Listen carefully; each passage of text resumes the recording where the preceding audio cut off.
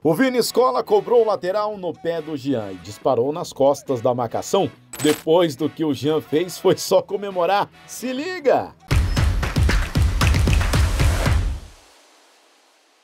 O Jean dominou com calma, mas já parecia decidido. Ele ajeitou o corpo e deu uma cavadinha linda na bola. Rasgou toda a defesa do Cascavel e deixou o Vini Escola sozinho na cara do gol. Aí foi só finalizar, mandar pro gol e ir pra galera. Olha que devolução pro Vini Escola! Gol! E com essa cavada maravilhosa, o Jean ficou com a primeira conexão crona dos playoffs da LNF 2021. Que beleza!